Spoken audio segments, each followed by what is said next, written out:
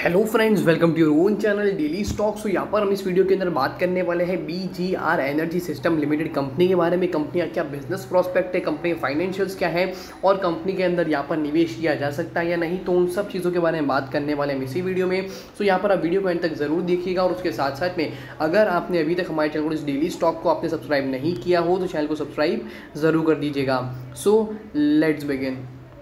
तो यहाँ पर तो सबसे पहले बात कर लेते हैं कि कंपनी का बिज़नेस क्या है। तो यहाँ पर बी एनर्जी जो एक ऐसी कंपनी जिसका जो मेन जो कारोबार है, वो यहाँ पर जो कंपनी के मेन जो प्रमोटर थे, वो थे जर्मनी के। और यहाँ पर जो है इंडिया के अंदर भी यहाँ पर एक प्रमोटर है, उनके द्वारा जो है यहाँ पर न्यूक्लियर सिस्टम के अंदर जो भी मेंटेनेंस रिलेटेड काम होता है पावर प्लांट रिलेटेड जो भी काम होता है, जो जो अंदर जो मशीनरीज होती है तो उसके अंदर ये कंपनी काम करती है और उसी के थ्रू जो है इस कंपनी का मेन कारोबार होता है। तो यहाँ पर अगर हम इन ब्रॉड परस्पेक्टिव सम, समझते हैं तो इस कंपनी का जो मेन जो बिज़नेस प्रोडक्टिबिलिटी है वो यहाँ पर बहुत ही एकदम प्रिसाइज और काफ़ी स्मॉल सेगमेंटेशन में कंपनी काम करती है। तो ये आपको पता होना चाहिए अगर कंपनी के यहाँ पर मार्केट कैप की बात करें तो 705 करोड़ का यहाँ पर जो है हमें इस कंपनी का मार्केट कैपिटलाइजेशन देखने को मिल रहा है। जो कि यहाँ पर मैं बताता है कि एक स्मॉल कैप स्टॉक है और उसके साथ साथ में यहाँ पर बीटा है स्टैंड करता है इस शेयर का। 1.16 परसेंट वन पॉइंट के रेशियो फॉर्म में, जो कि यहाँ पर हमें इंडिकेट करता है कि यहाँ पर अगर समझ लो इंडाइसिस के अंदर 1 परसेंट का अपर मोमेंटम देखने को मिलता है तो इस शेयर के अंदर भी आपको ऑन एन एवरेज बेसिस पर 1.16 परसेंट का जो प्राइस मोमेंटम है, वो यहाँ पर हमें देखने को मिल सकता है। नेक्स्ट इस प्राइस बुक के हिसाब से देखें तो अभी भी एक अच्छा से वैल्यूएशन रेड इस बुक वैल्यू के अकॉर्डिंग अगर देखते हैं तो वैल्यूएशन काफ़ी अच्छा है। रेड इस बुक वैल्यू हंड्रेड रुपीज़ और करंटली शेयर का जो प्राइस है, वो काफ़ी अच्छा से वैल्यूएशन पे चल रहा है। तो अभी भी जो बुक वैल्यू है, वो काफ़ी अच्छी है compare to the company current market price है, उसके अकॉर्डिंग बट यहाँ पर अगर कंपनी के फाइनेंशियल ट्रेंड के ऊपर अगर हम यहाँ पर कंपेरिजन करते हैं तो two thousand eighteen ninety twenty twenty twenty twenty one के अंदर भी देखते हैं। तो यहाँ पर जो कंपनी का रेवेन्यू है ट्वेंटी ट्वेंटी वन के अंदर, वो है ऑलमोस्ट ग्यारह सौ करोड़ रुपए। और जो कंपनी का मार्केट कैप है, वो है सात सौ करोड़ रुपए। तो अभी भी जो शेयर है, भले ही यहाँ पर कंपनी ने लॉस जनरेट किया है बट कभी भी ये जो अभी भी जो शेयर है, वो इतना ज़्यादा ओवर वैल्यूड नहीं है। डिस्पाइट ऑफ़ द फैक्ट कि यहाँ पर कंपनी लॉस कर रही है तो वो मेरे से काफ़ी नेगेटिव सेंटीमेंट रहेगा नेगेटिव इंटीमेशन है। बट फिर भी अगर ओवरऑल बेसिस पर अगर हम इसको कंपेयर करते हैं तो पिछले, अगर मैं पिछले तीन क्वार्टर में यहाँ पर कंपनी ने किस तरह से परफॉर्मेंस किया है, अगर उसका कंपेरिजन करते हैं और उसमें एक अच्छा सा प्रॉफिटेबल स्टेट आता है तो वो मेरे आपसे काफ़ी बेहतरीन बात हो सकती है इस कंपनी में निवेश करने के लिए। सो नेक्स्ट थिंग आती है यहाँ पर कंपनी की शेयर होल्डिंग तो शेयर होल्डिंग पैटर्न के अंदर यहाँ पर प्रमोटर का जो इन्वेस्टमेंट है, वो है सेवेंटी फाइव परसेंटेज यानी सात सौ करोड़ का जो कंपनी है मार्केट कैप है, उसमें से यहाँ पर साढ़े तीन सौ करोड़ का, साढ़े तीन सौ नहीं, लगभग साढ़े चार सौ करोड़ का जो इन्वेस्टमेंट है, वो यहाँ पर कंपनी के प्रमोटर द्वारा ही किया गया हुआ है। तो वो मेरे आपसे काफ़ी अच्छी बात है और डी का जो इन्वेस्टमेंट है, वो है नाम के बराबर से zero point twenty six percentage all दो अगर इसको कंप्राइज भी करते लॉन्ग लॉन्गिटिविटी के हिसाब से तो यहाँ पर जो पब्लिक इन्वेस्टमेंट मतलब आप जैसे और मेरे से जो रिटेल कैटेगरी इन्वेस्टर्स होते हैं, उन लोगों द्वारा इस कंपनी में 24.74 परसेंट का जो है निवेश किया गया हुआ है। तो यहाँ पर ओवरऑल बेसिस पर भी देखने जाए तो कंपनी जो शेयर होल्डिंग पैटर्न है, वो काफ़ी अच्छा यहाँ पर हमें देखने को मिल रहा है। तो शेयर होल्डिंग पैटर्न के बाद हम यहाँ पर मूव करते हैं कंपनी के रेवेन्यू स्टेटमेंट कि यहाँ पर कंपनी ने पिछले तीन क्वार्टर में किस तरह का परफॉर्मेंस किया है कंपनी जो है किस तरह से काम कर रही है। तो सबसे पहले अगर कंपनी का रेवेन्यू स्टेटमेंट कंपेयर करते हैं मार्च 2021 के अकॉर्डिंग तो यहाँ पर कंपनी टोटल इनकम थी थ्री करोड़ रुपीज़ अगर उसके उसके अकॉर्डिंग अगर उसके अकॉर्डिंग देखते हैं तो यहाँ पर 122 करोड़ रुपीज़ का जो है यहाँ पर कंपनी ने घाटा किया है। तो यहाँ पर जिस तरह से मैंने आपको बोला कि कंपनी जो बिज़नेस सेगमेंटेशन है, वो काफ़ी जो है प्रिसाइज है और यहाँ पर जो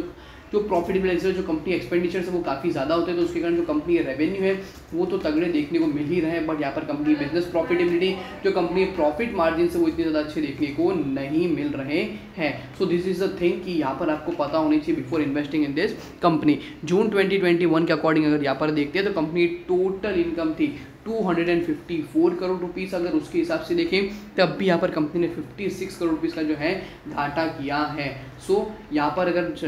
जून 2021 के अकॉर्डिंग भी देखें तो यहाँ पर कंपनी का घाटा ज़रूर कम हुआ है बट यहाँ पर कंपनी अभी भी जो है लॉस स्टेज में यहाँ पर हमें देखने को मिल रही है। नेक्स्ट थिंग भी अगर रिसेंट क्वार्टर के हिसाब से देखते हैं तो रिसेंट क्वार्टर बेसिस पर जो है कंपनी के जो रिज़ल्ट यहाँ पर देखने को मिल रहे हैं।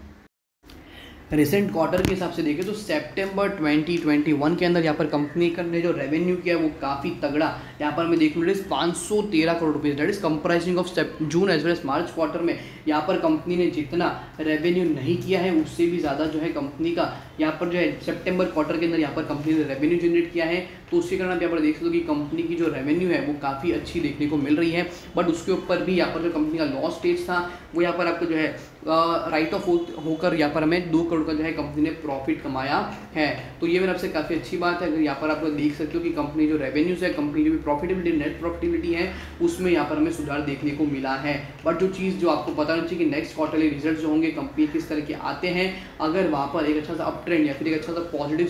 फॉलोअप यहाँ पर हमें देखने को मिलता है तो वो मेरे आपसे जो है काफ़ी बेहतरीन बात हो सकती है इस कंपनी में निवेश करने के लिए।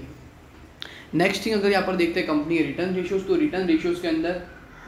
सबसे पहला जो आज निकल कर आता है, वो कंपनी का रिटर्न ऑन नेटवर्थ या फिर रिटर्न ऑन इक्विटी परसेंटेज तो ये मैं बता रहा कि कंपनी के पास पर मार्केट में जितना भी इक्विटी बेस है तो उस इक्विटी बेस के ऊपर यहाँ पर कंपनी ईयरली बेसिस पर कितना प्रतिशत प्रॉफिट कमा रही है? अगर ये जितना ज़्यादा हो कंपेयर टू तो प्रीवियस ईयर तो काफ़ी बेहतरीन बात होती है बट यहाँ पर कंपनी लॉस कर रही है। तो यहाँ पर जो कंपनी के आर परसेंटेज है, वो यहाँ पर हमें नेगेटिव ट्रेंड में देख, दिखने को मिल रहे हैं। मार्च टू के अंदर वन के परसेंटेज फॉर्म में यहाँ पर कंपनी का आर परसेंटेज था। जो कि यहाँ पर मार्च 2020 के अंदर हो चुका minus zero point twenty four percentage और मार्च 2021 के अंदर ये हो चुका है minus fifty two point twenty nine percentage तो यहाँ पर जो कंपनी का आर परसेंटेज है, वो तो यहाँ पर काफ़ी खराब देखने को मिल रहा है। Next is R percentage return on capital employed तो कंपनी के आर भी अगर यहाँ पर कंपेयर करते हैं mixture of both of course debt as well as equity तो उसके ऊपर भी यहाँ पर कंपनी का जो आर ओ सी है, जो कि मार्च टू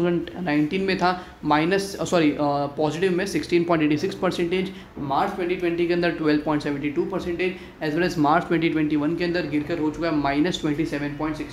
परसेंटेज